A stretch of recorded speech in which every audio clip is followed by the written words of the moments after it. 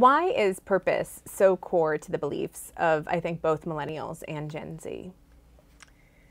So I think purpose is core to everyone. No matter who you are, mm-hmm. no matter if you're a boomer or uh, just coming up at 10, 11, 12.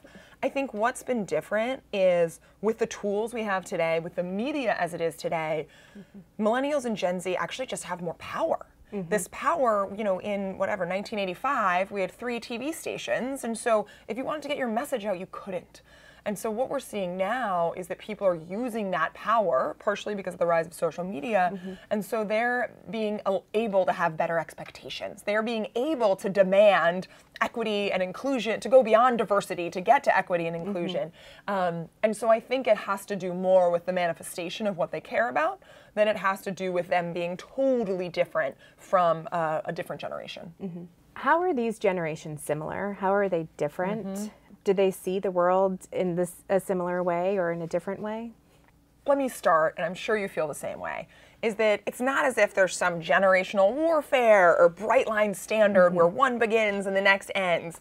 Um, and I'm I'm mostly sort of working with millennials who mm-hmm. are the mm-hmm. employees of Do Something. I'm an older millennial, um, and our target demographic now is really squarely Gen Z because it's these young people who are 13 to 25. Mm-hmm. And some of the changes or differences we see um, just because millennials are older now. And some of these mm-hmm. are sort of cohort effects. It's like, were millennials the same when they were 18? Mm-hmm. Um, and some are actual changes from what these young people believe.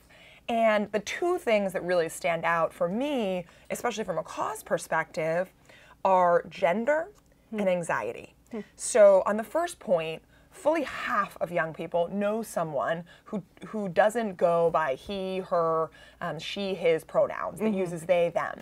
And that would have been unheard of 30 years ago. Yes. More than half of young people think that gender is a spectrum. It is not a binary. Mm-hmm. Again, unheard of for millennials 20 years ago. And millennials even today don't feel quite the same way as gender. And so I think that to your previous question, companies are being really smart to really understand where young people are coming from on the mm-hmm. issue of gender and meeting them where they are. Mm-hmm. The second thing, which is related, um, is this anxiety piece. Whether millennials have or had anxiety at the same levels of young people, they weren't talking about it. Right. And so we're seeing anxiety, depression, obviously suicidal um, ideation devastatingly. Mm-hmm be at all time highs over the last 20, 25 years. Mm-hmm. Um, some of this anxiety is from school shootings. Mm-hmm. Um, some people talk about anxiety for other reasons, but I think it's really going to transform this generation, both from a consumer standpoint, but also what they demand in the workplace. Mm-hmm. Um, and because there's this no longer your boss can get away with anything. Uh, we mm-hmm. have social media. we have places that you can vent. Um, right. I think that companies are going to have to treat their employees uh, better, and, mm-hmm. and that's a good thing.